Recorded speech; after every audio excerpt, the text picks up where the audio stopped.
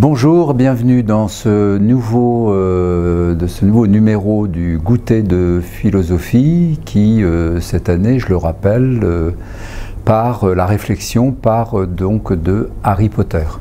Et au cours de, de, cette séance, à laquelle participaient une dizaine d'enfants, nous avons abordé euh, plusieurs thèmes euh, du premier volume, l'école des, sorciers. Nous avons, euh, nous avons eu une réflexion autour de, la conscience, de la pensée, de la parole des animaux, à propos notamment de la, chouette.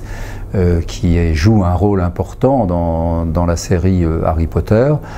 On a abordé également la, cape invisible que Harry Potter a reçue en cadeau et euh, qui va lui servir à, accomplir euh, quelques exploits, pourrait-on dire, euh, et ce qui a permis de, poser la question aux enfants, de leur demander ce qu'ils feraient s'ils étaient équipés eux aussi d'une cape invisible. Et bon, on a eu plusieurs types de réponses, mais elles tendaient plutôt à, elles penchaient plutôt vers des actions, plutôt des actions morales, des actions bonnes.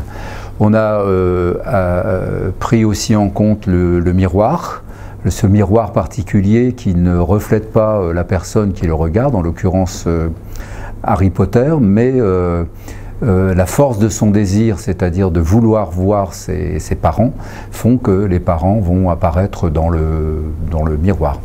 Et euh, comme le disait une, jeune fille euh, présente, euh, eh bien c'est la question effectivement de cette volonté de vouloir voir quelque chose qui peut mériter réflexion et la question du désir. on a examiné aussi les après le miroir, on a examiné aussi les cicatrices, et notamment la cicatrice de Harry Potter sur le front, que lui a laissé l'attaque de la toute première attaque de Voldemort. Et euh, la question était de savoir s'il fallait ou non se débarrasser des cicatrices en tant qu'elles elles reflétaient quand même une partie de notre passé et donc de notre identité. Euh, et j'oublie sans doute d'autres choses. Il y avait euh, peut-être les jugements, les jugements des sorciers sur les moldus, effectivement, qui était un jugement négatif et qui euh, pouvait euh, laisser penser que, euh, eh bien, quand on, est, on a une image de bonté, on n'est pas toujours aussi bon qu'on le croit. Voilà.